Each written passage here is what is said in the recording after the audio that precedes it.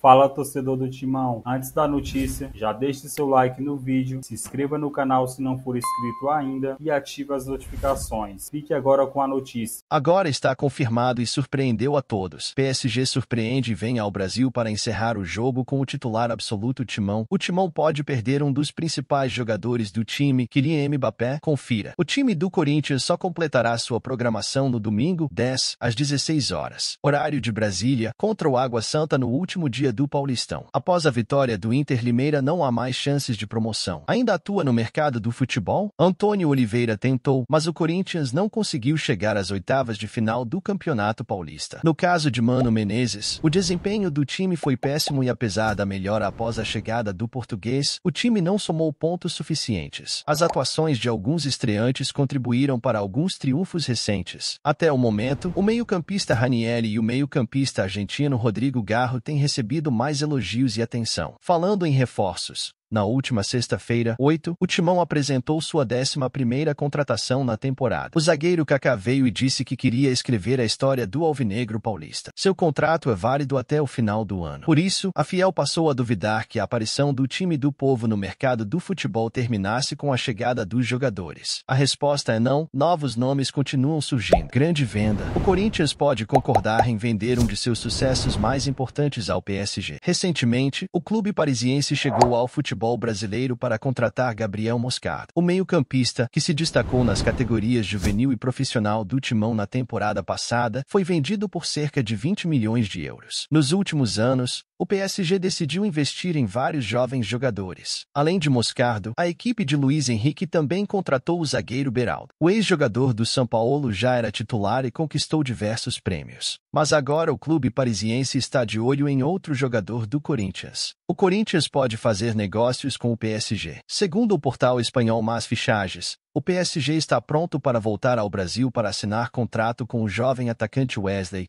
que foi uma das principais atrações do time em 2024. Além do PSG, o extremo já está na mira de clubes como Sevilha e Real Betis no futebol europeu. Nesta temporada, o jogador disputou 12 partidas nas quais marcou dois gols e uma assistência. Wesley tem 19 anos e deve se tornar um dos jogadores mais vendidos do Corinthians nos últimos anos. Enquanto isso, ele continuará jogando no timão. O jogador ingressou no time profissional em 2022, mas só obteve sucesso na temporada seguinte. Ele disputou 50 partidas de futebol profissional, marcando 4 gols e 2 assistências. E aí, fiel torcedor, você acha que a diretoria deve negociar Wesley do Corinthians? Sim ou não? Deixe sua opinião nos comentários e comente. Vai Corinthians! Assista essa playlist das notícias do Corinthians que estou te recomendando aqui no final. Obrigado por nos assistir e até o próximo vídeo, torcedor. E só para você que ficou até o final desse vídeo, garanta agora mesmo a camisa oficial do Corinthians ou a caneca personalizada. Link na descrição do vídeo ou no comentário fixado. Não perca essa oportunidade.